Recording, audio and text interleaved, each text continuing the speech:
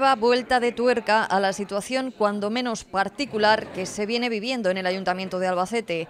Partido Socialista, Ganemos Albacete y el edil no adscrito, Pedro Soriano, han dado un paso más anunciando hoy la petición de un pleno extraordinario para pedir la reprobación del alcalde por haber desoído el mandato que le dio una mayoría de 17 concejales en el pleno en torno a la postura que debía defender sobre la votación del plan de Cuenca del Júcar. Esta medida eh, que puede parecer eh, contundente, y lo es, pero no podemos dejar pasar que cuando la mayoría de la representación política y social de esta ciudad decide eh, por la conveniencia, por el interés político, económico, social, medioambiental de esta ciudad, decide un posicionamiento en, en este caso en un órgano de gobierno de la Confederación del Júcar y decide instar al representante de este ayuntamiento eh, a que emita un voto, insisto, con una amplísima mayoría, 17 concejales, de, votamos que se votase negativamente el plan y solamente los 10 del grupo eh, popular, del Partido Popular, decidieron votarlo a favor. Y aún así, vulnerando ese acuerdo plenario, pues el alcalde decidió eh, situarse, plegarse a los intereses de su partido antes que defender los intereses de la ciudad de Albacete. Y esto, este eh, ataque a la legitimidad democrática de un pleno, este ataque a la dignidad democrática de una ciudad, entendemos que merece una respuesta contundente eh, y determinante como es esta convocatoria.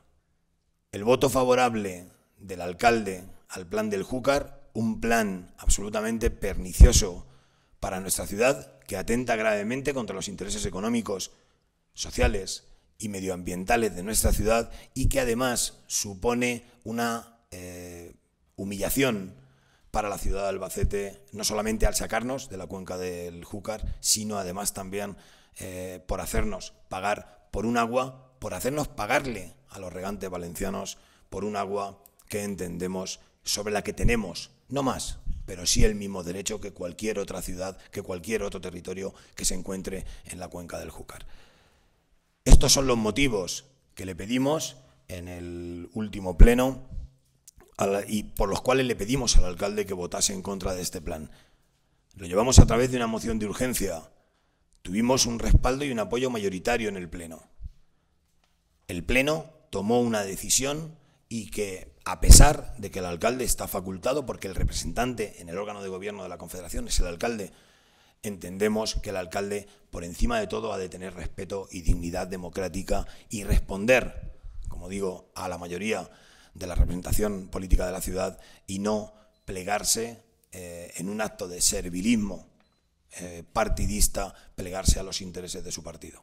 El alcalde decidió actuar como alcalde del PP y no como alcalde de la ciudad de Albacete. La portavoz de Ganemos Albacete, Victoria Delicado, ha señalado que esta reprobación tiene un carácter simbólico muy importante porque instará al alcalde a rectificar públicamente y señalar que se equivocó al votar en contra de lo que le mandó una amplia mayoría del Pleno. Poder desarrollar en un pleno eh, este asunto también yo creo que puede tener un valor, digamos, educativo, en el sentido de que el alcalde tiene que tomar conciencia y el equipo del Gobierno del Partido Popular que, eh, si bien han sido la fuerza más votada eh, en, las pasadas elecciones municipales y por eso gobiernan en minoría, pues efectivamente no tienen una mayoría absoluta para gobernar de espaldas al Pleno. Y si todos aceptamos democráticamente los resultados de las municipales y cada uno tenemos la representatividad que tenemos y la fuerza que tenemos, pues el alcalde y el Partido Popular tienen la fuerza que tienen, que es 10 de 27. Y eso no, mm, no le faculta, desde luego, para actuar en contra de los acuerdos plenarios.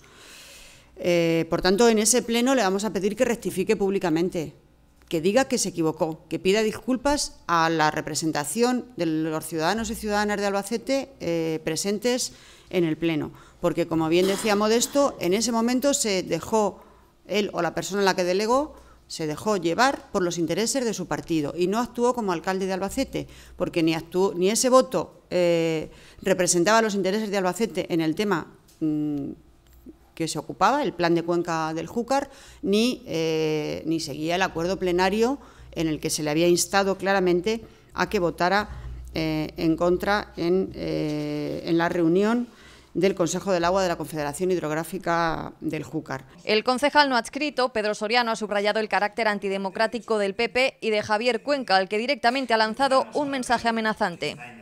O rectifica y se suma a la mayoría y aprende lo que es el juego democrático o lo va a pasar bastante mal. Porque él debe de aprender lo que es la democracia. La democracia, si ellos ahora mismo son 10 concejales, y están gobernando en minoría, se tiene que ceñir a lo que diga la mayoría.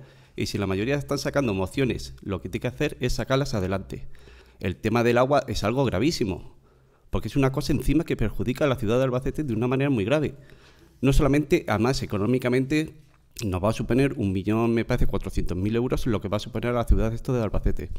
Eh, el, el alcalde, Javier Cuenca, debe de rectificar y someterse al juego democrático de todos los concejales del Ayuntamiento de Albacete. Y ahí nos va a tener enfrente, a mí me va a tener enfrente, yo creo que a la oposición también la va a tener muy enfrente y de alguna manera pues él debe de aprender, debe de cambiar un poco lo que es el chip, ya no tienen mayoría absoluta, sigo diciendo que siguen gobernando tuvieran mayoría absoluta y de ninguna de las maneras eh, debe de despreciar a la oposición. Todos se han mostrado contrarios a esta actitud del primer edil que aseguran justifica su reprobación, algo que nunca antes había sucedido en esta ciudad.